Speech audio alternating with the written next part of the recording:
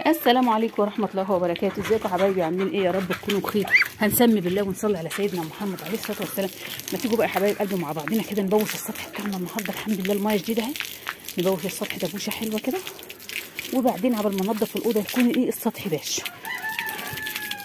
بصوا أنا بحب أمشي عليه بالمية كله كده الأول يبوش. طبعا السطح زي ما أنتم شايفين مكركب أنا بعمل الأول إيه؟ ورق كراكيب وبعدين إيه؟ أرجعها تاني مكانها. طبعا أنتوا عارفين البط بقى وما أدراكم البط يا جماعة. بصوا بنضف وهو موجود بس هبوش السطح الأول وأعمل الأوضة وبعدين إيه اخر أدخل البط في الأوضة وبعدين أمسك السطح ده إيه أخليه إن شاء الله قشطة كده وهصوره معاكم بعد ما انضفه تعالوا بقى نرش إيه على البط كده نحميه. هو بيحب المية بصوا.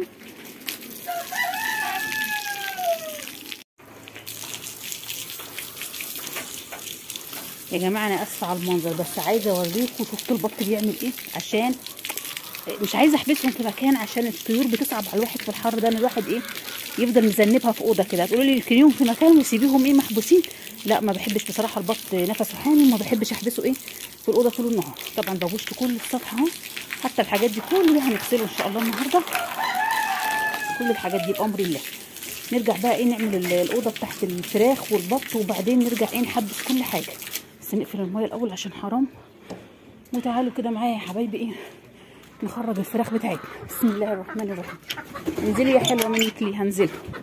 انزل. طبعا أنا بحبسهم واسيبهم محبوسين ليه؟ عشان أشوف الفراخ بتاعتي باضت ولا لأ الأول. بس الأول اخرجهم الأول. بسم الله. صلوا على النبي يا حبايب قلبي ادعوا لنا بلايك حلو. طبعا البط ده سايب كده من صباحية ربنا على السطح لحد بالليل. وبعدين بحبسه. بصوا بقى المنظر. كل حاجة النهارده بصوا يعني حاجة صعبة بجد. بس منظر الأوضة نجيب بقى اللي هو الفاس الصغير بتاع أم نسمة دوت ونكحت السطح إيه؟ تحت جميلة كده.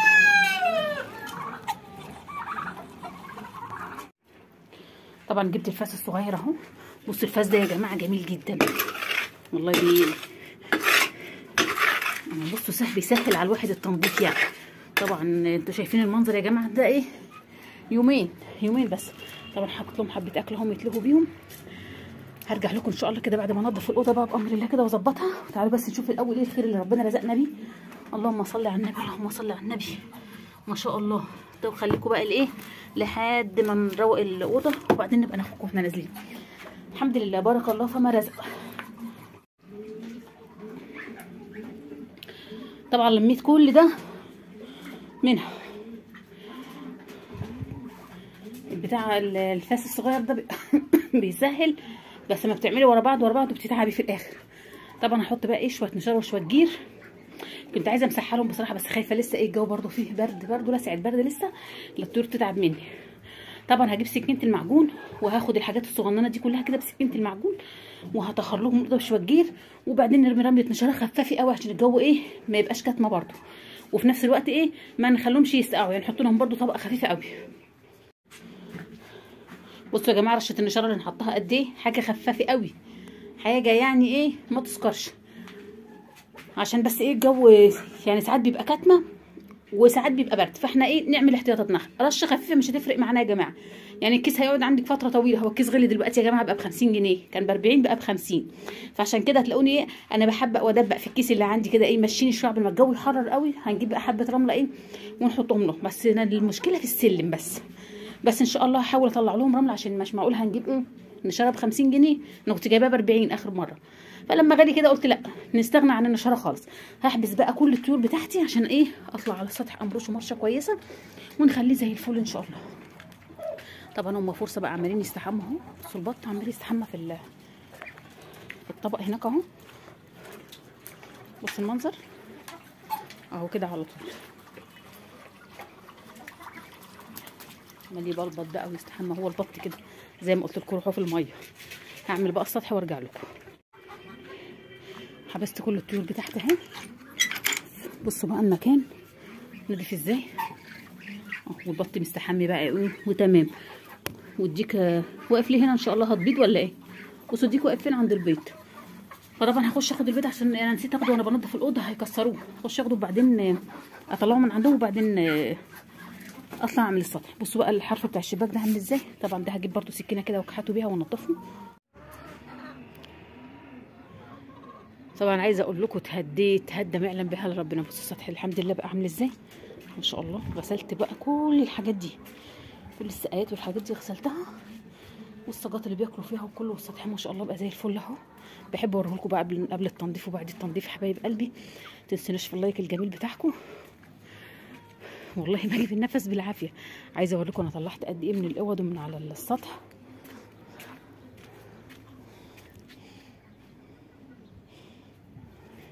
ثلاث شويلة أهو. ثلاث شويلة مطلعاهم من الأوض. طبعا أنا حابسة بقى إيه؟ الطيور كلها لحد ما أخلص. تعالوا أنا كنت سامعة فيه خناقة جامدة بينهم وبين بعض. في إيه؟ معرفش خش جوه. خش جوه. اللهم صل على النبي. طبعا إيه أنا شلت البيض اللي كان تحتهم ربنا رزقنا ببيضتين تاني اهم اللهم صل على النبي اللهم بارك.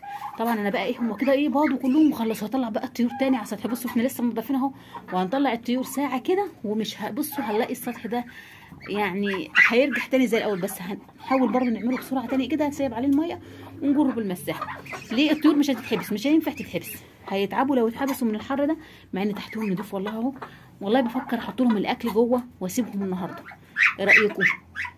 بفكر أحط لهم الأكل جوه واسيبهم عشان خلاص أنا كده جبت اخر ولو طلعوا هيبهدلوا السطح والشباك مفتوحة أهوت إيه؟ يدخل لهم هوا. بصوا دي واقفة متذنبه إزاي؟ بصوا دي كمان. دي كده على طول. اللهم صل على النبي اللهم بارك. صلوا على النبي حبايب قلبي ودعمونا بلايك حلو بقى كده منكم. وأشوفكم إيه؟ على خير الفيديو الجاي. تنسوش اللايك يا حبايب قلبي والصلاة على النبي. كده هيبيت السطح الحمد لله كده. أنا مش هحط لهم بقى إيه أكل على السطح النهارده هحبسهم وأحط للحمام برضو الأكل. أنا حاطة للحمام أكل يا ربي استغفر الله العظيم ناسية. حاطة أكل الحمام هدخل لهم المية جوه يشربوا بس أقللها لهم شوية عشان ما يبهدلوش الأوضة. وهدخل السقاية دي عند الفراخ البيضاء تعالوا نبص على الفراخ البيضاء بصة سريعة كده. اللهم صل على النبي اللهم بارك. بسم الله الرحمن الرحيم. طبعا أنا باجي بالنهار يا جماعة وبطفي اللمبة. بصوا بقى أنا حطيت إيه مع الفراخ البيضاء فاكرين الكتاكيت اللي أنا كنت جايباها آه. حطيتهم معاهم كانوا محبوسين في القفص هنا جنبهم. بس أنا قلت أسيبهم عشان الفراخ يا جماعة هيتجننوا في القفص. الكتاكيت هتتجنن في القفص. فالكتاكيت الفراخ الفراخ البيضاء هادية. ربنا هادية ما بتعملش إيه؟ يعني ما بتعملش تعض ما بتعضش الكتاكيت ولا بتعمل أي حاجة. هاديين. فحطيتهم معاهم. بصوا دول واخدين الركن اهمت وهحط لهم برضو إيه كام يعني كام أكلة كده أحط للفراخ الصغيرة تاكل والكبار ياكلوا بس الجو حر دلوقتي مش هنأكل حاجة مع إن دول هيظلموا وهيجوعوا شوية بس مش مشكلة هأكل كله مع بعض آخر النهار عشان لو حطيت العلف الرفيع الفراخ البيضاء هتاكلوا والصغيرين مش هيطولوا حاجة. فإيه الحمد لله إحنا كده إيه نضفنا حتى الأوض عندهم اهوت الحمد لله يا جماعة الحمام بتاع الفراخ يتماسك شوية اهوت إيه كان عندهم إسهالات وإحنا عالجناهم مع بعض بالأنتينال الحمد لله نحمد ربنا. حبايب قلبي ما تنسونيش في اللايك بتاعكم الجميل. وتسلموا لي كلكم حبايب قلبي.